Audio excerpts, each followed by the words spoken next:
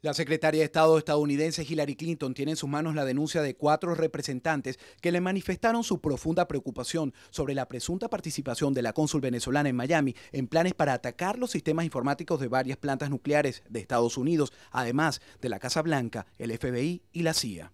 Bueno, si la información y las alegaciones que tenemos eh, son ciertas, entonces yo creo que esta mujer debe ser expulsada inmediatamente eh, de los Estados Unidos por el Departamento de Estado y por la administración de Obama, ya que ella representa una amenaza a la seguridad eh, nacional de este país. La información fue revelada en un reportaje de investigación de la cadena Univisión, en el cual aseguran que en el año 2008, cuando la funcionaria diplomática fungía como vicesecretaria de la Embajada de Venezuela en México, entró en contacto con miembros de las embajadas de Irán y Cuba y con estudiantes extremistas para coordinar un ataque cibernético contra Estados Unidos. Después de mucho insistir, logramos el contacto telefónico con la funcionaria venezolana.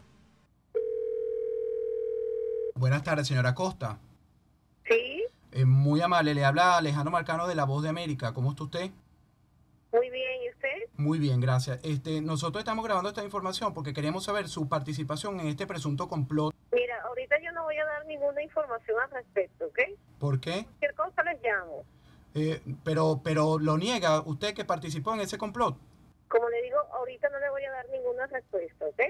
Para los congresistas Ileana Rosoletti, Mario Díaz Valar y el propio David Rivera, ya esta investigación está en manos del Departamento de Estado y de Justicia. De corroborar la acusación en contra de Livia Acosta, esta funcionaria diplomática venezolana será declarada persona no grata y expulsada de los Estados Unidos.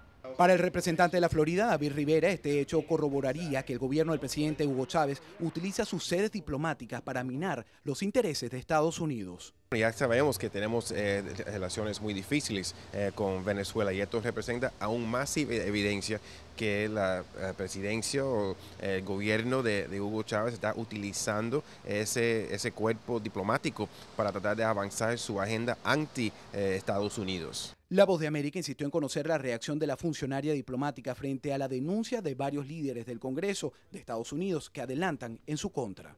El congresista y los congresistas dicen que usted la están investigando porque parece que es cierta la información. ¿Cómo va a ser cierta? Imagina, tan cierta como, como el beso que le dio Obama a Chávez. Es de destacar que el gobierno de Estados Unidos acusó a Irán el pasado 11 de octubre de orquestar una trama terrorista para atentar contra las embajadas de Arabia Saudita e Israel en Washington. Y estos ataques, según reveló el propio Washington, habrían sido planeados desde México. Desde Miami, Alejandro Marcano, para La Voz de América.